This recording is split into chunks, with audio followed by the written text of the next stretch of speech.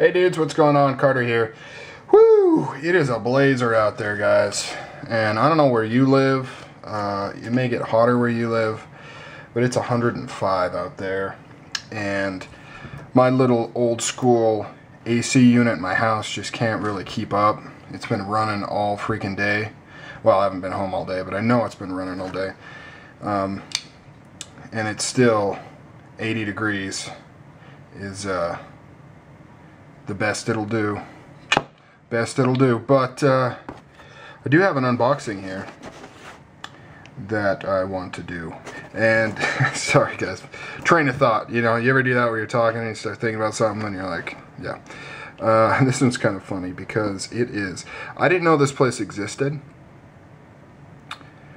but it apparently does. This is from Center of the Internet. Yeah. And it's an actual place, which is funny.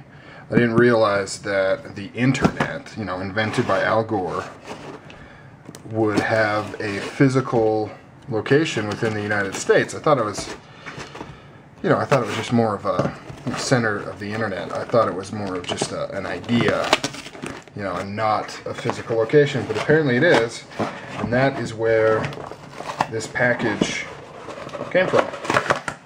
So that is pretty cool. And in this package, I don't know what's in here, guys. Um, I've gotten a number of different things recently, and uh, oh, here it is, right here. So actually, you guys probably know exactly where this package is from because it's a very popular site to buy stuff, but I don't know if I've ever actually purchased anything from there. So you guys know exactly what that is. But yeah, this is the uh, DPX Hest 2.0.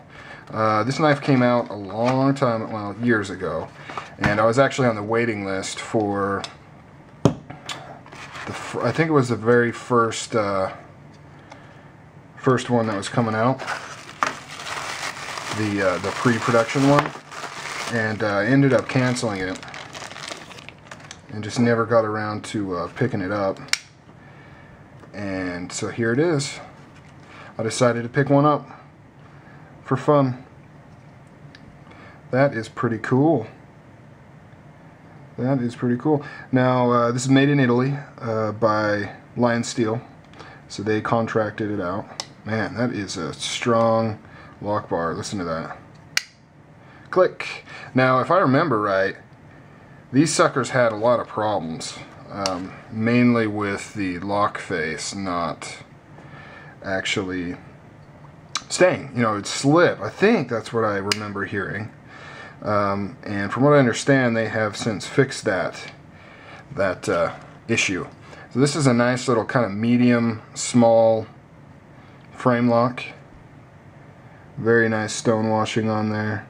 Kind of more of a scratch type stone wash. Cool pocket clip. I'm not sure if that's titanium. Super deep carry. It's got a skull crusher or glass breaker.